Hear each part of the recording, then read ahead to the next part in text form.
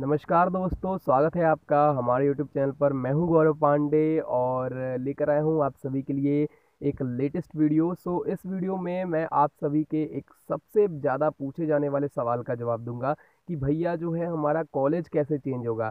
मान लीजिए कि हम किसी कॉलेज में एडमिशन ले लेते हैं और अगली कट ऑफ़ में हमें और अच्छा कॉलेज मिल रहा है तो हमें जो है वो उस कॉलेज में एडमिशन दोबारा कैसे कराना है?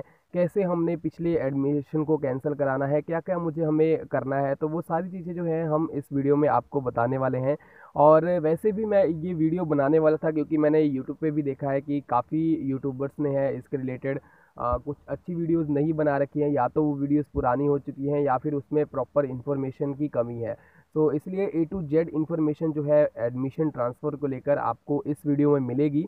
और ये वीडियो तो वैसे मैं कल ही डालने वाला था, लेकिन एक्चुअली क्या है कि हमारी असाइनमेंट्स का दिन आ चुका है, यानी कि हमारी क्लासेस तो चल रही हैं ऑनलाइन तो इस वजह से हमें असाइनमेंट जो है वो ऑनलाइन ही सबमिट करनी पड़ रही है और इसके लिए हमें असाइनमेंट बनाना है, टेस्ट देना है। तो ये सारी चीज़ों की वजह से थोड़ा सा टाइम नहीं निकाल पा रहा हूँ तो उसके लिए मैं माफ़ी चाहूँगा।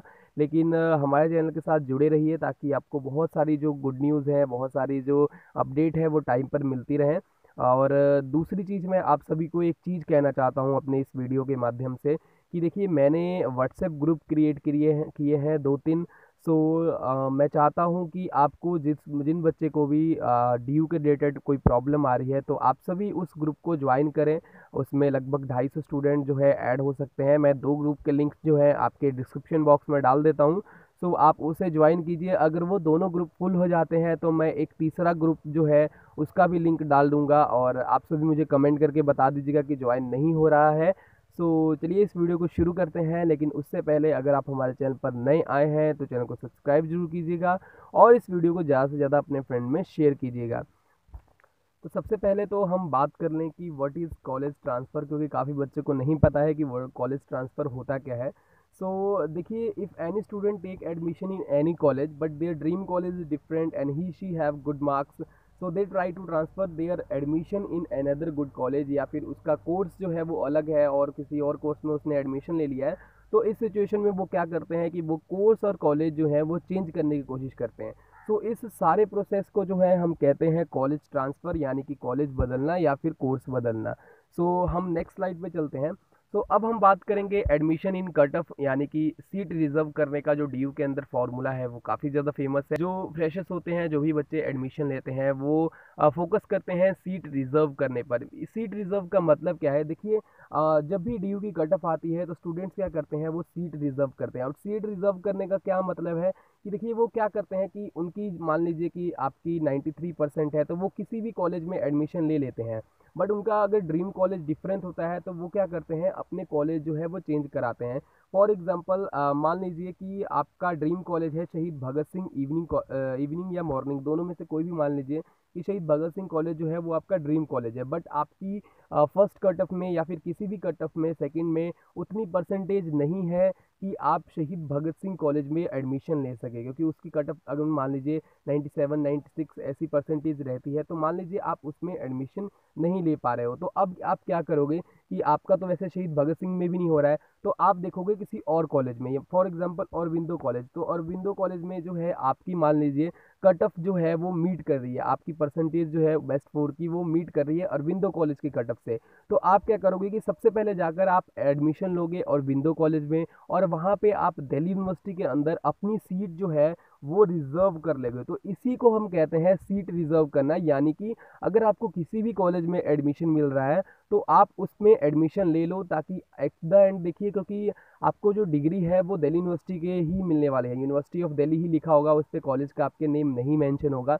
तो इसलिए फ़र्स्ट प्रायोरिटी जो होनी चाहिए स्टूडेंट्स की, वो ये होनी चाहिए कि आप किसी भी कॉलेज में एडमिशन लो। अब ऐसा भी नहीं है कि आपके 97 मार्क्स हैं और आप जाकर एकदम भारतीय कॉलेज में एडमिशन ले लो तो ऐसा नहीं है। अगर 97 मतलब मैं उस केसेस में बात कर रहा हूँ जिसमें आपके एडमिशन के चांसेस कम रहते हैं। मान लीजिए आपके 88 परसेंट है 90 परसेंट है तो इन कोर्सेज में क्या होता है कि थोड़ा सा मतलब रिस्क रहता है तो इसलिए एडमिशन का पहला आपका प्रोसेस यही होना चाहिए कि आपको सीट रिज़र्व करनी है किसी भी कॉलेज में। सो, जिनके तो यार 95 से ऊपर है, वो तो सीट नहीं रिज़र्व करे तो भी चल जाएगा उनका उनका कोई दिक्कत नहीं है, क्योंकि उनका किसी ना किसी कॉलेज में हो जाएगा।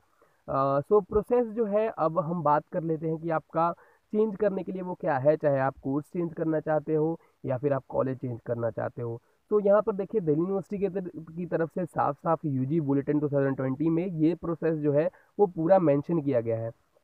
तो यहाँ पर सबसे पहले दिल्ली यूनिवर्सिटी में दिल्ली यूनिवर्सिटी ने क्या कहा है?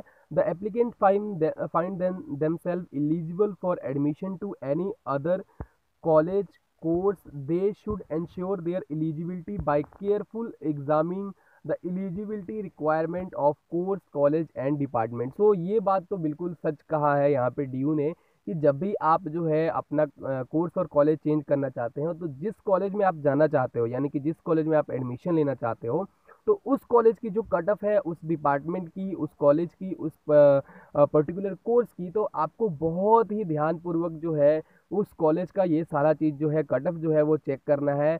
ताकि जो है आपको बाद में जाकर प्रॉब्लम ना फेस करनी पड़े। तो जब आप मतलब पूरा श्योर हो जाते हो कि आपको यस, आप इस कॉलेज में एलिजिबल हो, आप एडमिशन ले सकते हो so applicants are advise to excise extreme care to ensure they that they meet the requirement for course and college. Once they are certain wish to cancel admission in course and they, course college, they initially had gain admission to in the previous list. The applicant must log in to the U G admission portal to cancel their admission through their dashboard so देखिए, अगर आप sure हो जाते हो कि हाँ इस college में मेरा एडमिशन हो रहा है तो सिंपली आपको क्या करना है कि आप अपने पोर्टल पे जाओ, यानी कि डी यू यू जी जहाँ से आपने रजिस्ट्रेशन कराया था, वहीं पर जाकर अपना पोर्टल पे लॉगिन करो और लॉगिन करने के बाद जो है आपको ऑप्शन मिल जाएगा आपके न्यू कोर्स सॉरी, आपके एडमिशन कैंसिल का। तो वहाँ पे जो है आपको चूज़ करना पड़ेगा, अपना एडमिशन जो है वो प्रीवियस कॉलेज में जो है उसे कैंसिल कराना पड़ेगा। और यही मैं बोल रहा था कि कैंसिल कराने से पहले आप जो है दूसरे कॉलेज में, नए वाले कॉलेज में पूरी उसकी रिक्वायरमेंट को देख लेना, उसके जितने भी पर्टिकुलर वेबसाइट पे जाके उसकी कटअप चेक करना, उसके रिमार्क्स में कुछ भी जो लिखा हुआ हो, वो पढ़ लेना, जैसे डिडक्शन कितना होगा एडवांटेज कितना मिलेगा तो वो सारा चीज़ पढ़कर ही अपना जो प्रीवियस कॉलेज का जो कटअप है सॉरी जो एडमिशन है, उसे आप कैंसिल कराना, नहीं तो फिर आप उससे भी जाओगे, अगर आपकी रिक्वायरमेंट पूरी नहीं हुई तो नए कॉलेज में भी एडमिशन नहीं मिलेगी। तो ये ऐसे केस में क्या होगा कि आप दोनों तरफ़ से चले जाओगे तो आपका एडमिशन ही नहीं होगा। तो इस बात का ध्यान रखें कि कॉलेज ट्रांसफ़र करते टाइम आपको बहुत ही ज़्यादा केयरफुल रहना है, बहुत मतलब बहुत ही ज़्यादा। तो इसमें क्या होता है कि देखिए जो फार्मूला पूछते हैं बच्चे कि, भैया, ये बताइए कि हम कितनी बार कॉलेज जो है वो चेंज कर सकते हैं?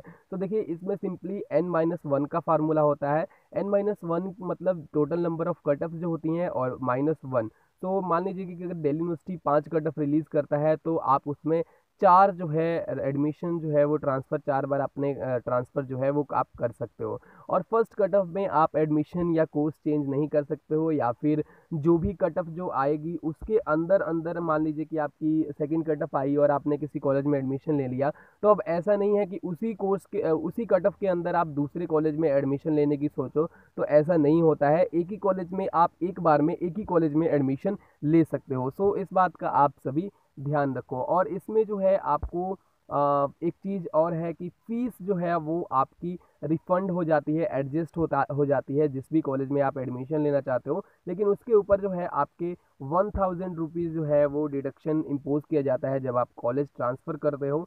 तो यहाँ पर जो एप्लीकेंट्स हैं उनका मैं यहाँ पे बता दूँ कि जब भी आप री एडमिट होते हो किसी भी कॉलेज में तो आपका जो फ़ीस है वो आ, अगर आपकी फ़ीस मान लीजिए कि पिछले कॉलेज की ज़्यादा थी और उस कॉलेज की कम है तो जो भी आपने अकाउंट नंबर दिया है उसके ऊपर जो है रिफ़ंड आ जाता है आफ्टर एडमिशन प्रोसेस और मान लीजिए कि अगर आपका एडमिशन जो है वो किसी ऐसे कॉलेज में होता है जिसकी फ़ीस पहले ज़्यादा थी और सॉरी जिसकी फ़ीस पहले कम थी और अभी वाले कॉलेज की जो फ़ीस है वो ज़्यादा है तो आपको जो है अपने पोर्टल पे जाकर जैसे आपने पहले एडमिशन कराते टाइम फ़ीस पे किया था तो वो फ़ीस जो है वो पे करनी है और जो भी फ़ीस का एडजस्टमेंट होगा वो ऑटोमेटिकली हो जाएगा। सो जो भी पेंडिंग फ़ीस होगी जो भी बाकी फ़ीस होगी आपकी न्यू कॉलेज की वो आपको वहाँ पर पोर्टल पर पे करनी है। सो यहाँ पर एक और चीज़ है कि through dashboard admission is approved the admission fee will be adjusted automatically so यहाँ पर मैंने आप सभी को ये बता ही दिया है कि जो एडमिशन फ़ीस है वो अपने आप ही एडजस्ट की जाएगी। सो so, जो भी